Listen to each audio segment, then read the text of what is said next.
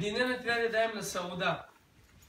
נפסק בשולחן ערוך סימן קנ"ח מצווה מדברי סופרים ליטול את הידיים קודם סעודה שאוכל בה פת ומצווה לשמוע דברי חכמים. והסכימו זאת על הפסוק הסמיכו זאת על הפסוק והתקדישתם והייתם קדושים והתקדישתם אלו מים ראשונים ואף שזו מצווה מדברי סופרים יש לברך על הנטילה זו.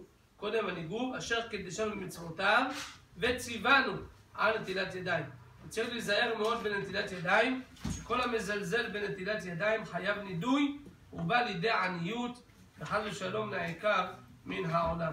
אף מי שאין ידיו מלוכלכות, ואינו יודע עליהם שום טומאה, אינו רשאי לאכול פת עד שיטול ידיו כהלכה.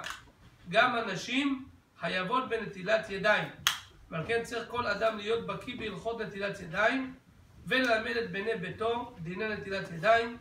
וישגיח שיתלו ידיהם כהלכה, וכן יחנך את בניו ובנותיו הקטנים לנטילת ידיים בברכה. ברוך ה' לעולם, אמן ואמן.